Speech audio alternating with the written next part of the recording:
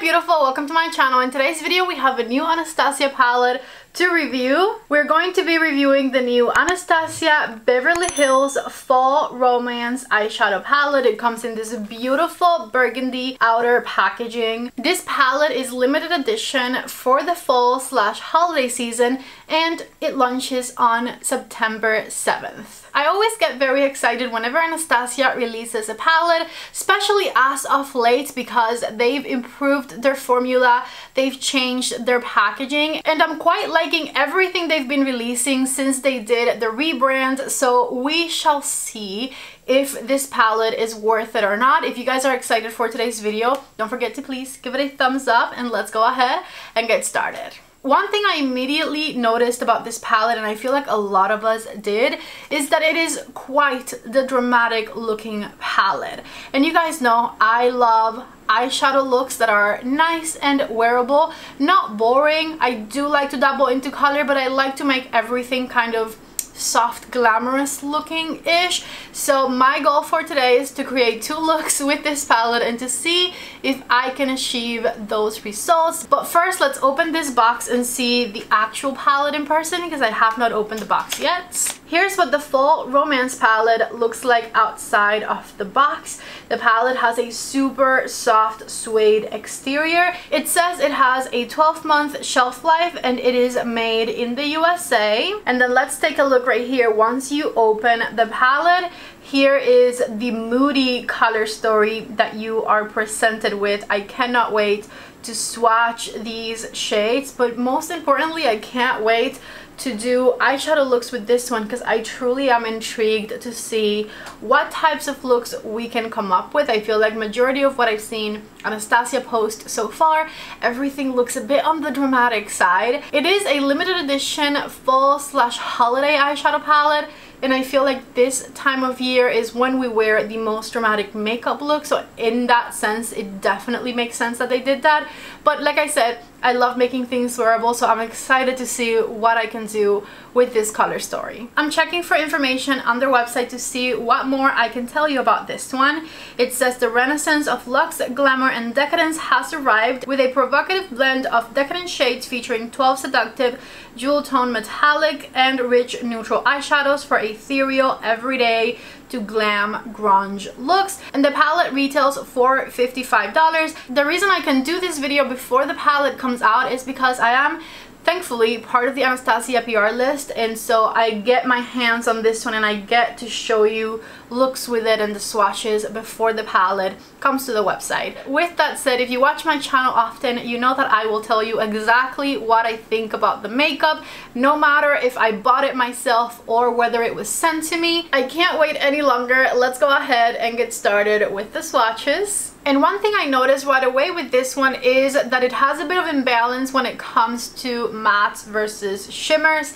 I usually like my palettes half and half. And this one, as you can see, has 12 shades total and only three of them look to be true matte shades. And then there is three more that are almost matte but they're like those types of matte shades that have a bit of a sprinkle of shimmer in there. Shades like Thorn right here, see how it has a teeny tiny bit of shimmer? Mulberry as well and then Amber which has a bit more obvious shimmers thrown in there. Anyways, here's the finger swatches of the first four shades which are the shades Smoke. Smoke is described as a metallic silverish taupe that has green and gold reflects. Moonlight is the next shade. This one is a duochrome lavender with a sparkling pink opal shift. Then we have the shade Fireside, metallic rosy copper with sparkling reflex, and the shade Divine right here, which is quite intriguing. And this one is a duochrome vivid purple with a sparkling pink pearl shift. Here are the next four shades. Starting with the shade Crown, which is a duochrome with sparkling green-blue shifts. Then we have Amber, which is described as a matte toasted brown with fiery reflex. First one from the second row is called Leather and this one is a matte stone shade. Then we have the shade Thorns which is a matte hunter green with sparkling reflex. Let me build up these last two swatches just a little bit so that you guys can see them better. And then we have the last four shades which are the grungiest of them all. Starting with Crimson which is a matte deep wine color. Then we have Midnight, which is a metallic smoky purple with sparkling reflex. Mulberry, which is a matte reddish brown with sparkling reflex. And lastly, the shade Twilight, which is a matte deep grayish green shade. So take a look right here at the swatches of this new palette. At first glance, I'm thinking, did they forget a transition shade? However, however, these formulas are very blendable. So I'm truly hoping that we can lighten up the matte shades so much that they make for good transitions on the crease, even if they can build up to be this dark and intense grungy type shades. So we'll see how that goes, right? Take a look right here at the stunning swatches. The swatches definitely look very promising, so let's go ahead and see what I can do with this palette. I'm going to start with a Sigma E28 and the shade Leather up here. And I am going to tap this color on the outer V of the eye. And then once I have a nice amount of pigment there, I'm going to blend it forward. I did my makeup like four hours ago because I was waiting for this palette to get delivered and I did not necessarily prime my eyelids. I did do a little bit of concealer underneath my brows. I'm adding a little bit more of that shade and I am just blending it all throughout my crease area. See, this definitely can be diffused to be a beautiful transition type shade and it's not too dark. Plus, I like that it's a very pretty cool tone shade. The palette I feel like just looks kind of scary at first glance, but so far so good. I'm liking this. I think I'm going to do some day looks that I will then turn into night looks and that way instead of two looks I can give you four looks in this video. Wish me luck with that. with my finger I'm going to grab the shade Crown which is this beautiful duochrome shade here and I'm going to stamp it all throughout the center of the eyelid just stamping it in place with my finger here. This is a really pretty gold duochrome shimmer which has some blue sparkles in there. And then with a flat brush, I'm going to grab the shade Moonlight. This is a Sigma E57 and I'm going to add it to the inner corner of the eye and bring it in through my crease around halfway in a little bit more crown with my brush because I can't fit my finger all the way to my inner corner. So to blend it in, it's much easier for me to grab it with a brush and I am blending it all the way in. Sigma E24 and a little bit more of that shade Leather. And I'm going to smoke it all throughout my under eye area here and connect it back here at the end. Let's do a cream eyeliner in the waterline. And just like that, here's a daytime look that you can create with this new Anastasia palette.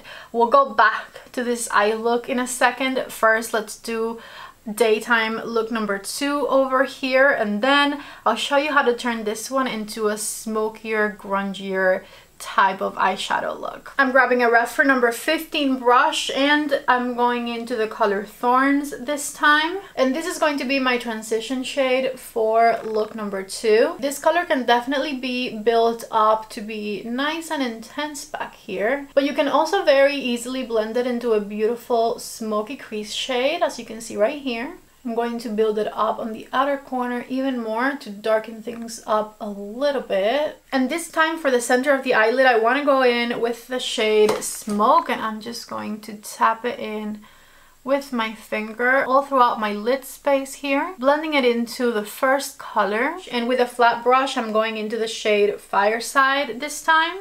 And this warmer shimmer is going to be the inner corner color. Keep in mind, I'm also trying to do as many shades as I possibly can to show you them. But that's actually not bad the way those two shades blended. That's very pretty. Back to the shade Thorns with the reference number one this time. And once again, we are smoking it up right under my lash line here.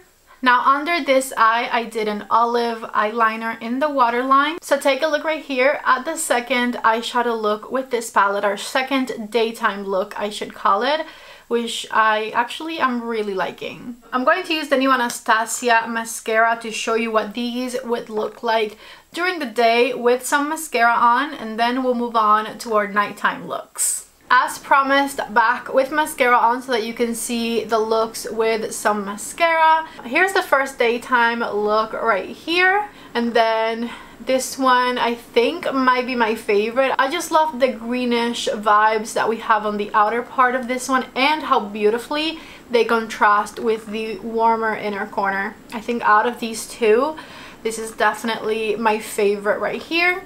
Maybe if I built this one up a little more, I would like it even better. However, we are going to build it up, but we're going to build it up to make it into nighttime looks so that we can also use the grungier, more pigmented shades in this palette. I want to show you as much as I can in this initial review. So let's get started with this one. And to deepen it up, I want to grab the shade Crimson. This is a Sigma E27 brush, and I'm going to start by stamping it on the outer corner. I'm trying to be careful around the mascara and then once I have it nice and smoky back here I'm going to start building it up and in so that we can darken up the entire eye look back here. First I'm patting the shade in place and then I'm going to start blending the edge and I'm bringing it in around halfway through my crease and just making sure there's no harsh edges. Back with my E57 and the shade Moonlight, I definitely don't want to lose Moonlight all the way to half through my eyelid here. And just adding that one shade has already changed this look so much and totally made it into a more evening type look. However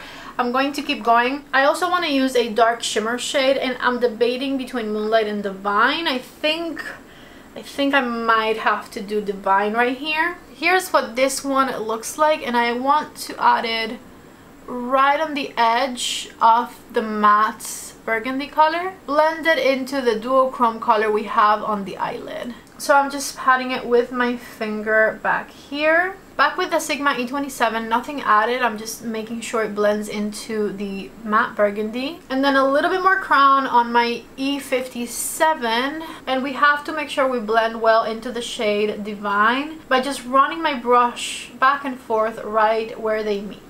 I need a pointed brush and I'm going to use my reference number 26 to grab the color Crimson and intensify things right underneath my lower lash line on the outer part back here, making sure it meets with the color Crimson right on the outer corner.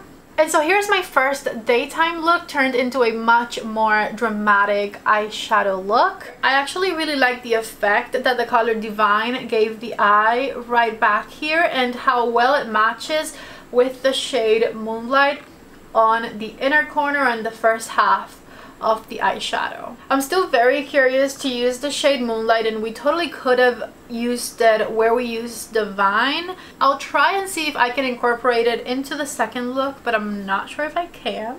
The first thing I want to do to turn this into a nighttime look is darken up the outer corner once again and this time I'm going to do it with the shade Twilight and oh this is dark. And this is a Rephr number one brush. I'm just going to start by tapping twilight right on the outer corner.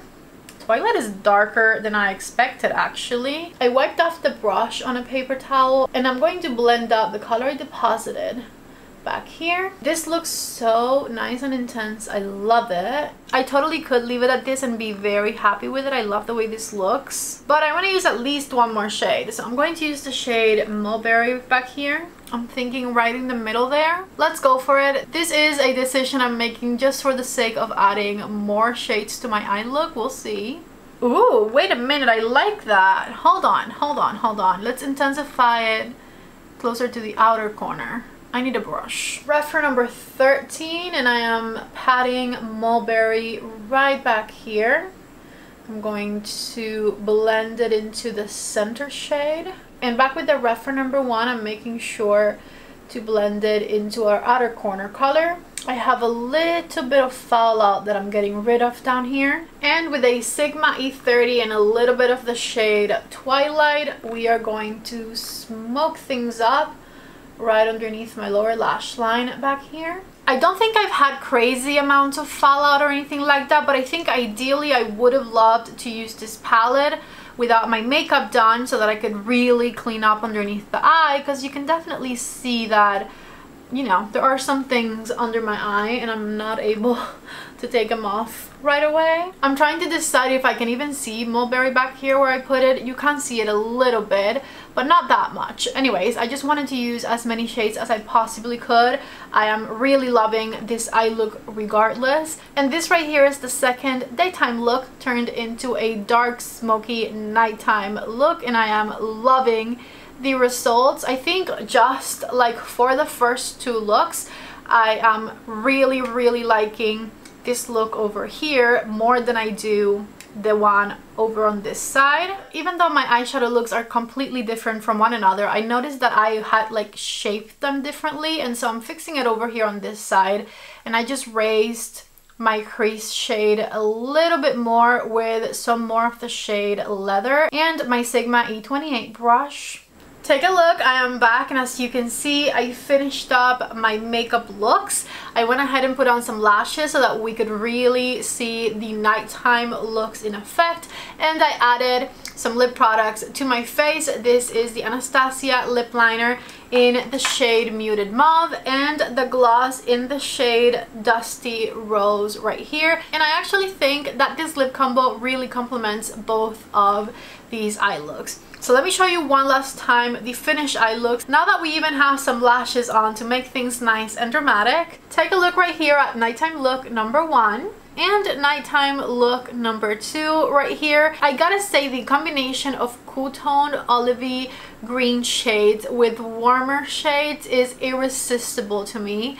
So at first I like just kind of was going through the motions of using as many shades as possible but I gotta say I ended up loving the way that this look came out. When it comes to grungy eyeshadow palette releases from Anastasia, this is not the first time we see a grungy palette like this one. We also have the Rose Metals palette which came out last year. And this one also has as you can see a pretty grungy color story. So I wanted to put them side by side to show you. And I gotta say when it comes to grungy eyeshadow palettes and grungy color stories me personally I much prefer the versatility of the new palette versus the Metal Rose. If you watched my review video on this palette last year when it came out, you know that I wasn't super impressed with the Rose Metals color story. I love the leather packaging, but the color story in and of itself, I wasn't overjoyed by. And so when it comes to grungy eyeshadow palettes, I think that the Fall Romance palette is much better in my opinion because you have a lot more shades to choose from. Plus, you guys know I have a weak spot in my heart for burgundies and I have burgundies in this one. With that said, I don't think that this is going to become my new favorite Anastasia palette. I think that that spot is definitely still held by the Cosmos palette which came out earlier this year. In comparison, as you can see, this palette has a much lighter color story. I love the shimmers of the Cosmos palette a little better. I love the duochromes of the Cosmos palette a little better. And even the mattes, I find these matte shades that the Cosmos palette has in it to be extremely, extremely flattering on my complexion. Plus, unless I'm specifically wanting to go dark and grungy, I find that this color story right here is much more what I wear on a daily basis. So my favorite Anastasia palette, if anyone's curious, is still the Cosmos palette. However, I can definitely appreciate this color story for the fall time because Cosmos is definitely much more of a spring and summer palette in my opinion. I can't wait to hear your guys' thoughts on this new fall romance palette from Anastasia. I posted a little short video showing you the swatches over on my Instagram account, which if you're not following me on Instagram yet, definitely do so.